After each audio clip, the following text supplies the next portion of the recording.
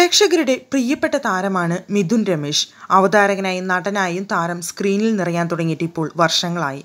അന്നു മുതൽ ഇന്നുവരെ വേറിട്ട അഭിനയ ശൈലിയും അവതരണ ശൈലിയുമാണ് താരം കാഴ്ചവെച്ചുകൊണ്ടിരിക്കുന്നത്. താരത്തിനോടൊപ്പം തന്നെ കുടുംബവും ഏറെ പ്രേക്ഷക പ്രീതി ഇപ്പോൾ നേടിയിട്ടുണ്ട്.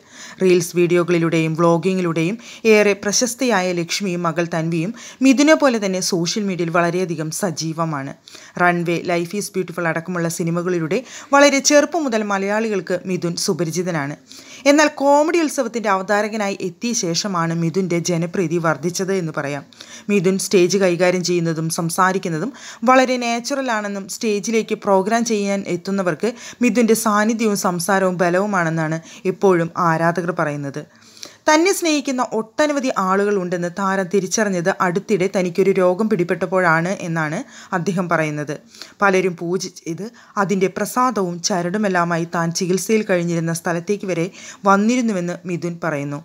കുട്ടിക്കാലം മുതൽ സിനിമാ മോഹം ഉള്ളിൽ കൊണ്ട് നടന്നിരുന്നു മിഥുൻ. എന്നാൽ വീട്ടുകാരുടെ നിർബന്ധം മൂലം ദുബായിക്ക് വിമാനം കയറേണ്ടി വന്നു. പ്രവാസ ജീവിതം ഇരുപത് വർഷം പിന്നിടുമ്പോൾ തന്റെ ഇത്രയും കാലത്തെ ജീവിതയാത്രയെക്കുറിച്ച് തുറന്നു പറഞ്ഞിരിക്കുകയാണ് മിഥുൻ.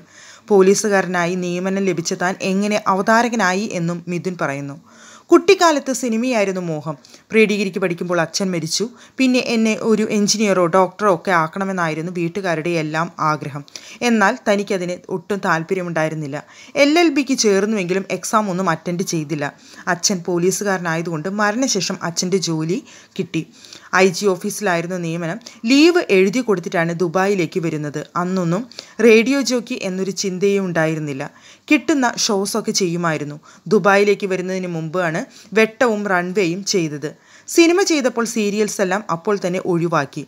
ദുബായിൽ വന്ന ശേഷമാണ് സാമ്പത്തികമായും മെച്ചപ്പെട്ടത്. നാട്ടിൽ നിന്നിരുന്നുവെങ്കിൽ കരിയർ മറ്റൊരു തരത്തിലേക്ക് പോയേനെ എന്നും പറയുന്നു.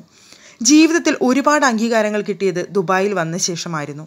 സാമ്പത്തികമായി ഉയർന്നതോടൊപ്പം തന്നെ പോപ്പുലാരിറ്റിയും കിട്ടി. കോമഡി ഉത്സവം എന്ന ടെലിവിഷൻ ഷോ കരിയറിൽ വലിയ ബ്രേക്ക് ഉണ്ടാക്കിയെന്നും മിഥുൻ പറയുന്നു. കുടുംബസമേതം മിഥുൻ ഇപ്പോൾ ദുബായിൽ സെറ്റിൽഡാണ്. ദുബായിലെ ഒട്ടുമിക്ക മലയാളം ഷോകളും ഹോസ്റ്റ് ചെയ്യാറുള്ളത് ഇപ്പോൾ മിഥുനാണ്.